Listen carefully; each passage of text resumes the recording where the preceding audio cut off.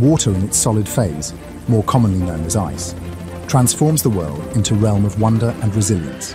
From the polar regions, where frozen landscapes stretch to the horizon sculpted by forces older than time itself, to the high mountains, draping the rugged peaks and filling the deep valleys, ice shapes the very bones of the earth, carving vast landscapes over millennia. It blankets seas, lakes and rivers in winter, turning once fluid waters into solid, glistening expanses, and preserves ancient climates in its frozen depths. Ice, in all its forms, is a testament to the enduring and transformative power of water. A silent, glittering reminder of nature's delicate balance of strength and fragility.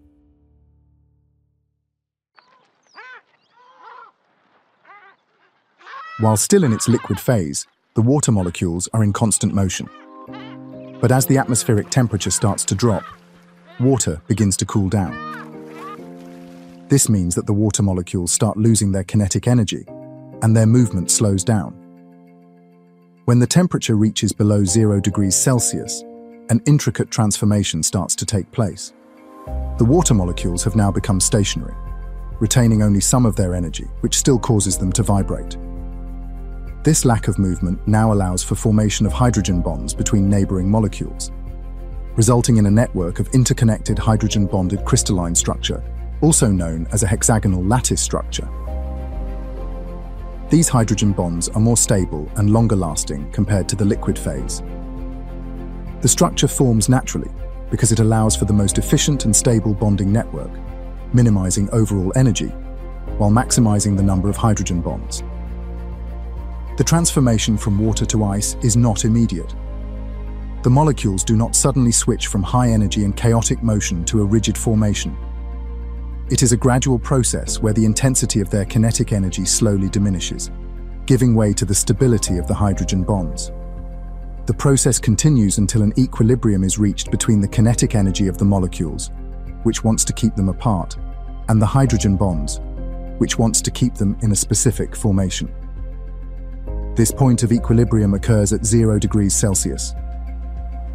At this temperature, the amount of water and ice can stay constant, as long as no heat is introduced or removed.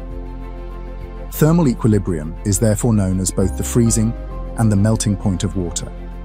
Although we cannot see the water molecules, we are able to detect the intricate patterns that are formed when water freezes, often called frost patterns or ice crystals. These are the result of a phenomenon called dendritic growth. As the ice and the hexagonal lattice structure expands, it doesn't form in a smooth, uniform way. Instead, it grows outwards from specific points, forming branching patterns. The branches grow because the tips of the structure is where the freezing happens fastest, allowing the crystal to expand outwards. Because the hexagonal structure of the molecules is an open arrangement with large amounts of empty space between the water molecules, it is less dense than its liquid state. In other words, unlike many other substances, water becomes lighter as it transforms from a liquid to a solid. Typically, only 10% of an iceberg is visible above water, with its vast submerged mass weighing millions of tons hidden beneath the surface. These mammoths of the Arctic regions stay afloat all because of the hexagonal lattice arrangement of ice. The rigid, orderly structure of ice also makes it brittle. The strength of the hydrogen bonds and the lattice arrangement means that ice can fracture along certain planes when subjected to stress, rather than deforming like many other solids. Snow is also another solid form of water, but differs from ice in its physical characteristics. To understand the difference, we must first look at how snow is formed. Whereas ice is formed when liquid water freezes, snow starts its journey in a gaseous state, as water vapor in our atmosphere. When temperature in the clouds drops below freezing, the water vapor turns directly into solid ice crystals, bypassing its liquid phase altogether. Because the water molecules are more spread out in a gaseous state than in a liquid state, when water vapor freezes, the resulting structure is much more open than ice. The branching, delicate ice crystals trap air, which makes snow less dense, light and fluffy.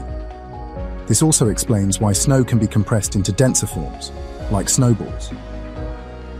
The freezing of water vapor also leads to more dominant dendritic growth than in solid ice, which we can detect when looking at a snowflake under a microscope. Each individual ice crystal is made up of millions of water molecules that align themselves in hexagonal lattices. When more water vapor freezes onto the crystal, the result is typically a six-sided snowflake structure. Snowflakes are highly sensitive to variations in temperature and humidity, which plays a significant role in its dendritic growth.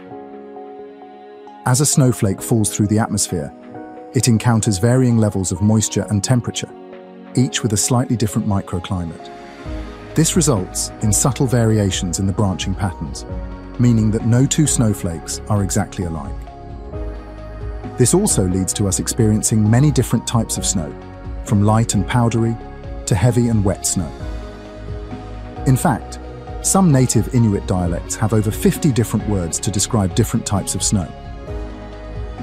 But once winter starts to loosen its frosty grip, the intricate lattice of ice crystals starts to collapse beneath the sun's growing strength. A transformation both subtle and profound, a quiet reminder of nature's endless cycles. Which brings us to our next chapter, where we will study the characteristics of water in its most common phase, liquid.